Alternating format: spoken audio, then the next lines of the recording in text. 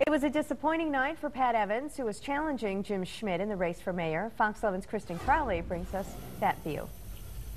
The race for mayor has been an exhausting one for Pat Evans. I didn't eat much and I didn't sleep much, and I've got a bunch of gray hairs. He says with all the hard work he and his supporters put into his campaign, a loss doesn't help ease the exhaustion.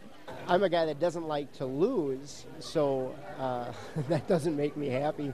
Uh, you know, you do or you do not. There is no try. Evans says Mayor Jim Schmitt had an advantage over him that he couldn't beat. Jim's had the opportunity to fundraise for the last eight years, and we've had you know a couple of months to do that, and and uh, you, know certainly ha- having the opportunity to, to get our message out there in comparison to what he had wasn't the same playing field. But Evans says he has no hard feelings, and he wishes Mayor Schmitt the best in his term.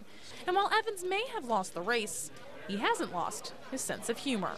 We still have a bunch of beer and to drink, so that, that's always a good thing. And uh, Evans says he doesn't know what this loss means right now for his political career, but he does say it's possible that sometime in the future he may run for mayor again. In Howard, Kristen Crowley, Fox 11 News. Evan says he has no regrets about running for mayor.